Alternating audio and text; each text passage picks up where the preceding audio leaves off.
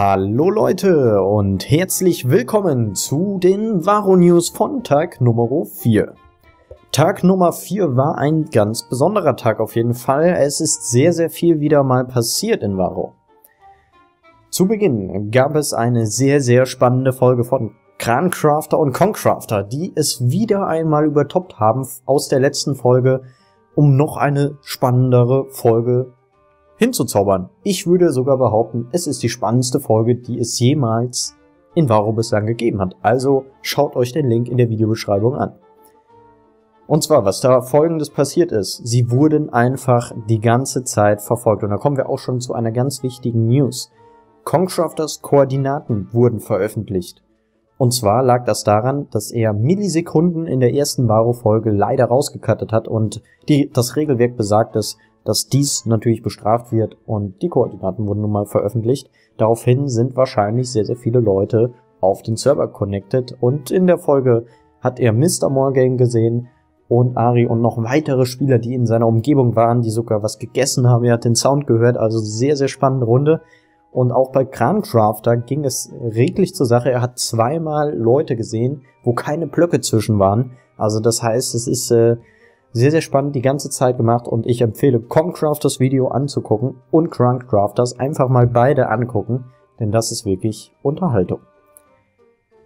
Aber ich empfehle natürlich auch die Folge von Mr. Morgan, denn dort sieht man nämlich auch, wie knapp es eigentlich war und aus welcher Sicht ähm, das geschehen ist. Also Mr. Morgan war wirklich sehr, sehr nah an Crafter dran, hat aber dann einen sehr bösartigen Drang von einer Witch bekommen und äh, ging erstmal auf ein Herz down und äh, musste dann selbst sich wegbauen und äh, ja, sehr, sehr spannende Folge auch bei ihm.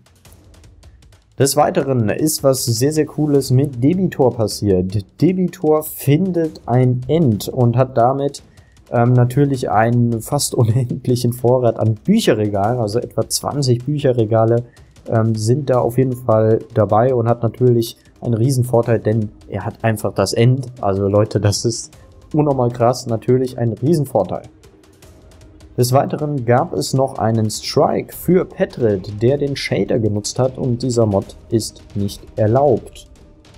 Das Team Hashtag FastGronk scheidet leider aus, es wurde niedergestreckt vom Team Lord Schneckchen.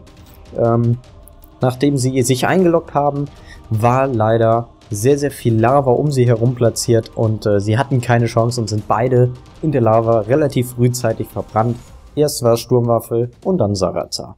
Schade, ein wirklich spaßiges Team, muss man dabei sagen. Ansonsten wurde noch in der Folge von Anyart LP gemunkelt, dass wohl Brammen stirbt. Ähm, leider konnte ich noch das Video von Brammen nicht angucken, ähm, was jetzt leider immer noch nicht draußen ist.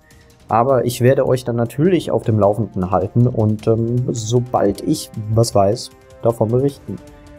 Ansonsten haben ganz, ganz viele Teams super krasses Equip bekommen. Ähm, Fire Aspect Schwerts auf Diamant sogar beispielsweise bei Unge. Ähm, und ganz, ganz viele Diamanten für das Team Gamer Thunders Time, so heißt es ja. Und äh, Venicraft ebenso, also sehr, sehr viele Diamanten auch in den gesamten Teams. Ähm, Außer vielleicht bei, bei Krancrafter und Concrafter, die ja weiterhin auf der Flucht sind und äh, Freaks LP und Gomme haben auch nicht so viele Diamanten, bislang nur zwei Diamanten gefunden, heißt also, sie könnten sich ein Diaschwert machen, aber mehr auch nicht.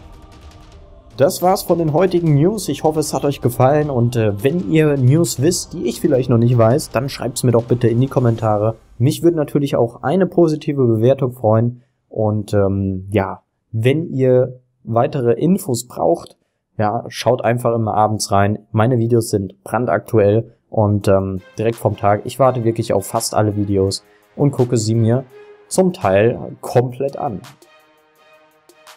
Um weiteres Feedback würde ich mich natürlich freuen. Also Leute, schaut vielleicht auch mal in meine anderen Videos rein. Wäre vielleicht ganz cool. Da läuft nämlich ein geiles Projekt, was auch relativ spannend ist. Und mit diesen Worten verabschiede ich mich und wünsche euch viel, viel Spaß. Bis morgen zur nächsten Folge von Varo News. Ciao, ciao.